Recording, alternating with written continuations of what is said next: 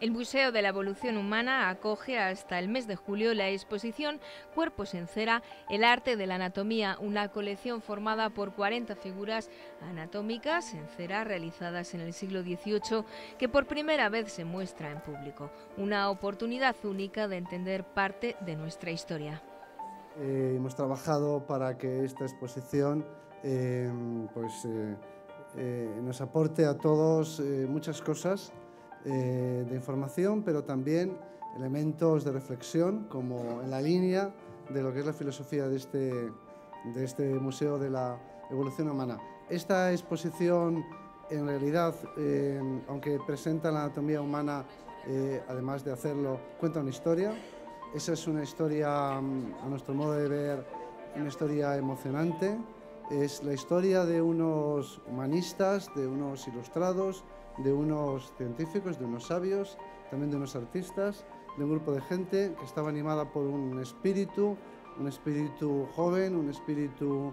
eh, esperanzado, un espíritu optimista de renovación de la sociedad a través del conocimiento, de transformación del mundo, de la búsqueda de la felicidad, de la especie humana y de la fraternidad universal.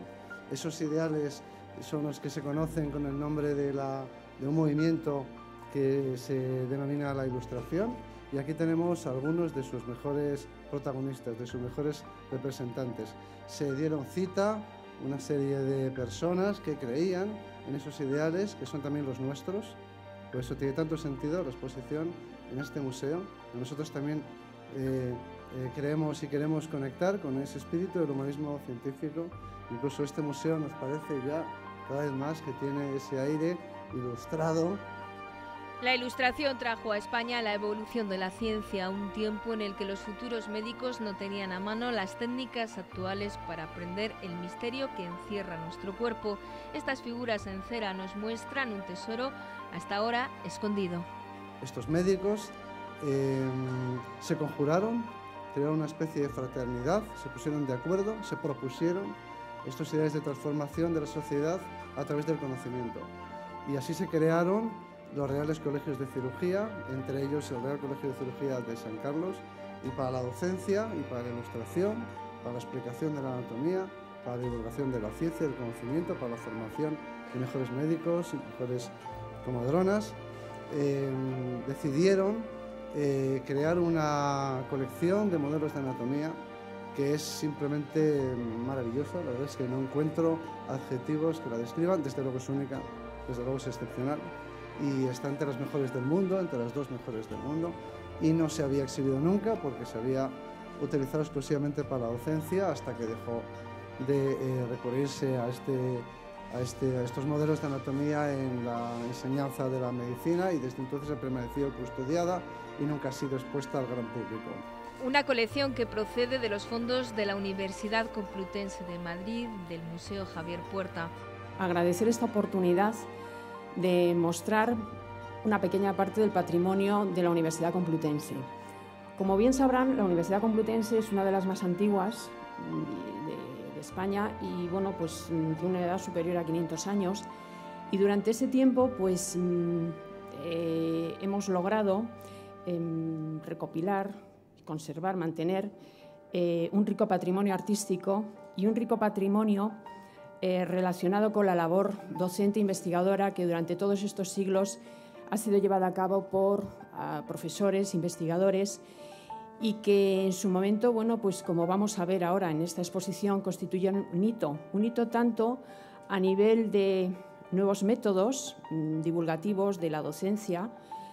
y también eh, nuevos sistemas artísticos y de oficios artísticos, incluso de colaboración entre artistas y docentes para lograr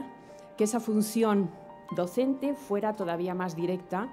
y todavía más ilustrativa, y nunca mejor dicho, porque estábamos refiriéndonos en este caso a la época de la ilustración, para poder llegar a esos estudiantes y poder lograr que la formación fuera lo mejor posible. Por primera vez estos modelos anatómicos salen de las aulas y se muestran al gran público en su estilo, constituyen una de las mejores colecciones del mundo. Esta colección se puede, se puede entender perfectamente lo que fue el inicio de la ciencia, es decir, el practicar el ejercicio profesional, sea de la medicina o de la cirugía, con un rigor en base a un conocimiento de cómo era el cuerpo humano. Hasta este momento eh, prácticamente no existía una formación que les diese a los médicos la capacidad de saber qué tocaban, qué hacían con rigor. Y yo creo que lo más importante a destacar de esta colección hoy en día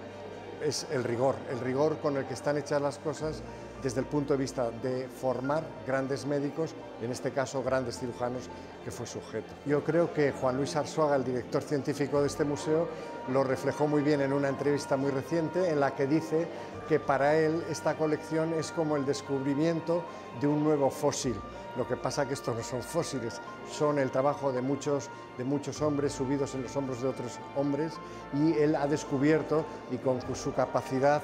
científica y personal, pues ha conseguido divulgarla. Yo espero que sea una base para una gran satisfacción de todos los españoles en la medida en que es algo para sentirnos muy orgullosos todos, que ya en España y en esta época esta colección era lo mismo, lo mismo que se enseñaba en países como Francia y en París, en Inglaterra y en Londres o en Leiden y en Holanda. Estábamos al mismo nivel. Estos hombres que hicieron esto es también un aprendizaje, cómo pusieron a nuestro país en el contexto internacional y no teníamos nada, nada que envidiar, no tenemos nada que avergonzarnos en respecto o con respecto a lo que es la ciencia.